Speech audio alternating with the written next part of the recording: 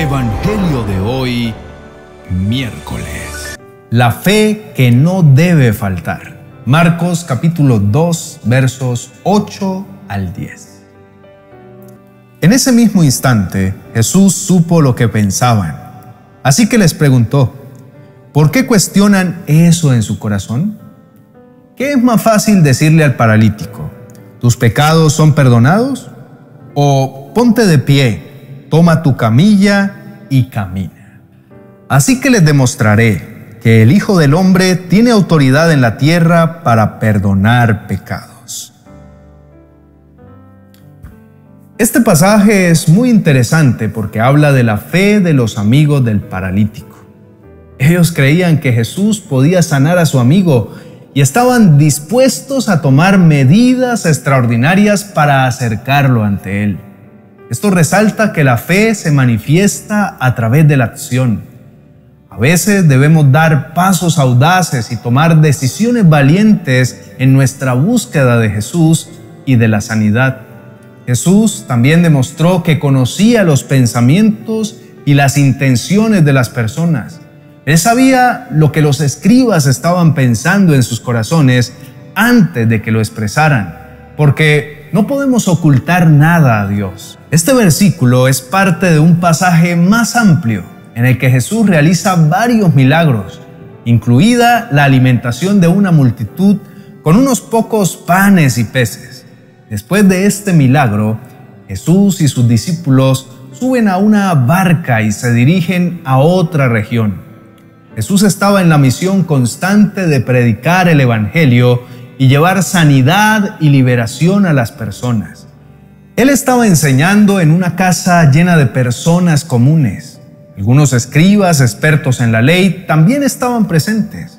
Un hombre paralítico deseaba ser sanado y debido a la multitud no pudieron acercarlo a Jesús, por lo que sus amigos lo bajaron a través del techo hasta donde estaba Jesús.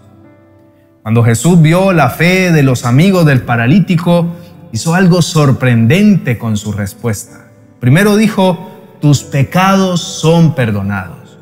Esto provocó un debate en el corazón de los escribas y fariseos presentes que cuestionaron en sus mentes cómo Jesús podía perdonar pecados, ya que consideraban que solo Dios tenía esa autoridad. Jesús nos sorprenderá siempre con sus alcances divinos. Reflexión.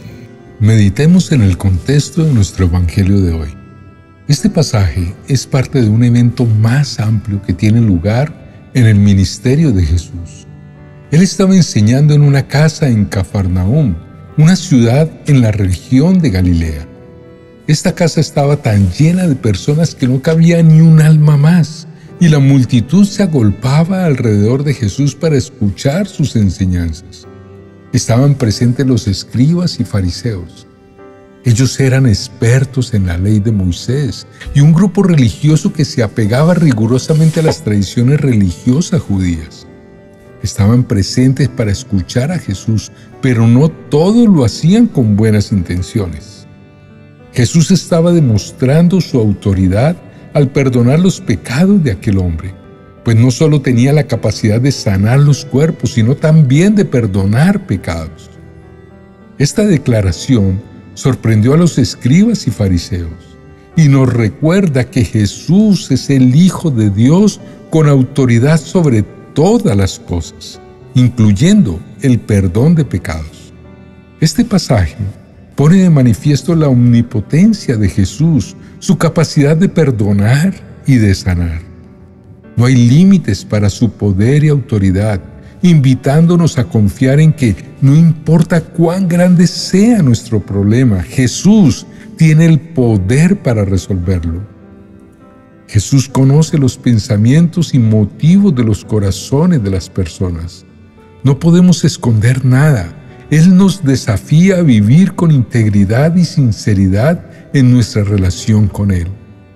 El título, Hijo del Hombre, que Jesús usó es significativo.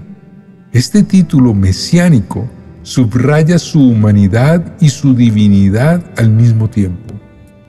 Jesús como el Hijo del Hombre no era solo un líder o un rey terrenal, sino el Salvador divino que vino a abordar el problema fundamental del pecado en la humanidad. La historia del paralítico nos enseña que Jesús se preocupó primero por la necesidad espiritual del hombre, el perdón de sus pecados. Esto resalta la importancia de abordar nuestras necesidades espirituales antes que las físicas o materiales. Aunque nuestras necesidades físicas son importantes, nuestras almas tienen una necesidad aún mayor de ser reconciliadas con Dios. Todo esto pone de manifiesto la omnipotencia de Jesús, su capacidad de perdonar pecados y de sanar enfermedades. No hay límites para su poder y autoridad. Confiemos en que, no importa cuán grande sea nuestro problema, Jesús tiene el poder para resolverlo. Oración final. Dejemos a un lado la tensión de las circunstancias que vivimos y aprendamos de la tranquilidad que Jesús mostró en todos los momentos de su peregrinaje. Siempre se mantuvo tranquilo tanto en los momentos relajados como en los momentos de alta presión. Inclinemos el rostro y oremos juntos. Amado Señor, a veces mi fe puede ser débil y mi confianza fluctuante, pero al reflexionar sobre la extraordinaria fe de los amigos del paralítico, Anhelo tener una fe que trascienda lo común, una fe que me impulse a actuar con audacia y convicción. Así como esos amigos llevaron al paralítico ante Jesús con una fe inquebrantable, te pido que tomes mi corazón y lo fortalezcas. Ayúdame a creer en ti de una manera extraordinaria y a confiar en que eres capaz de hacer lo imposible. Permíteme ir más allá de las simples oraciones y esperar con una convicción profunda que tú tienes el poder para cambiar mi vida y la vida de aquellos a quienes amo.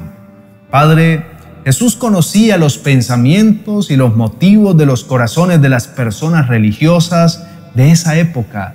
Y tú también conoces mi interior. Sabes si después de orar sigo confiando y perseverando en la esperanza. Te pido que me des la fortaleza para mantener mi fe incluso cuando las circunstancias sean desafiantes. Reconozco que tú eres el Hijo del Hombre, el Salvador divino, que vino a abordar el problema fundamental del pecado en la humanidad.